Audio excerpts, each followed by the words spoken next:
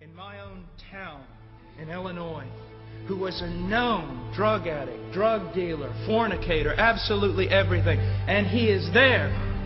He passes away.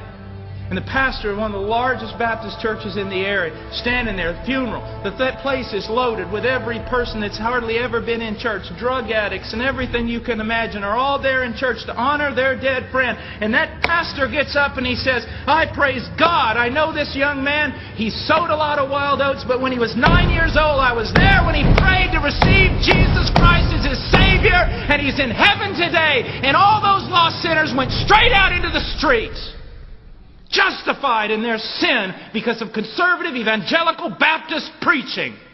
That's typical in almost every church in this country. It's true. It's true. And it's pathetic. It's pathetic.